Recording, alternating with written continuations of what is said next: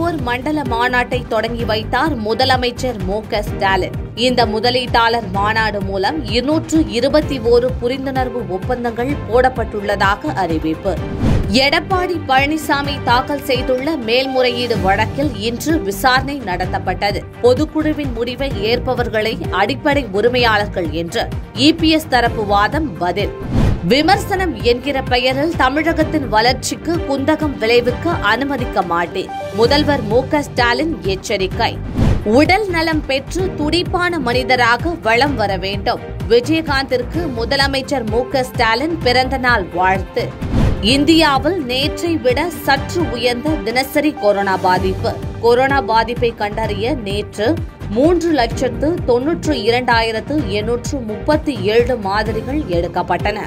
பாகிஸ்தானில் வெள்ள பாதிப்பால் தொள்ளாயிரம் பேர் உயிரிழப்பு. பாகிஸ்தான் பருவநிலை மாற்றத்துறை மந்திரி ஷெர்ரி ரஹ்மான் அறிவிப்பு. விஜயகாந்த் உடல் ஆரோக்கியத்துடன் எல்லாம் வளமும் பெற்று சிறப்பாக வாழ வேண்டும். எதிர்க்கட்சி தலைவர் எடப்பாடி பழனிசாமி பிறந்தநாள் வாழ்த்து.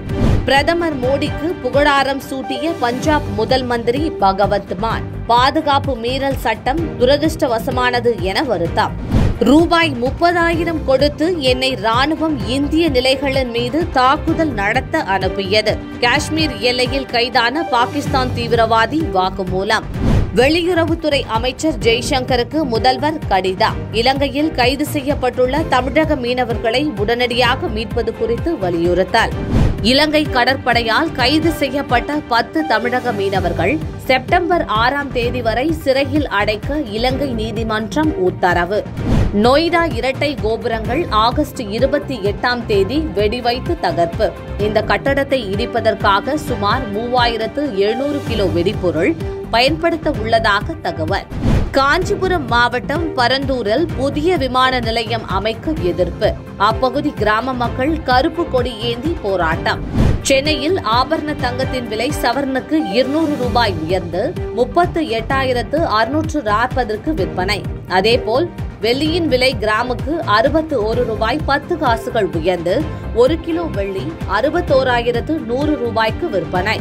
சாக்லேட் ஷாம்பு உட்பட முன்னூறு பொருட்கள் இறக்குமதிக்கு தடை விதித்த இலங்கை. ஆகஸ்ட் இருபத்தி மூன்றாம் தேதிக்கு முன்பு கப்பலில் ஏற்றப்பட்டு செப்டம்பர் பதினான்காம் தேதிக்குள் இலங்கையை வந்தடையும் பொருட்களுக்கு இத்தடை பொருந்தாது என்று நிதி அமைச்சகம் அறிவிப்பு. குஜராத் தேர்தலுக்காக செப்டம்பர் ஐந்தில் பிரச்சாரத்தை தொடங்குகிறார் ராகுல். அதற்கு இரண்டு நாள் முன்னதாக அகமதாபாத்தில் ராகுல் பிரச்சாரம் மேற்கொள்கிறார் என தகவல்.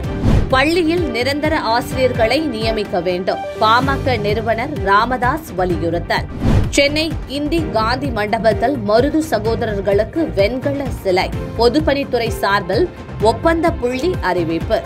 டெல்லி முதல் மந்திரி அரவிந்த் கெஜ்ரிவால் தலைமையில் இன்று ஆம் ஆத்மி கட்சி எம்எல்ஏக்கள் ஆலோசனை கூட்டம். இந்த கூட்டத்தில் தற்போதைய அரசியல் சூழ்நிலை மற்றும் அமலாக்க இயக்குநரகம் நடத்திய சோதனைகள் குறித்து விவாதிக்கப்படும் என்று தகவல்.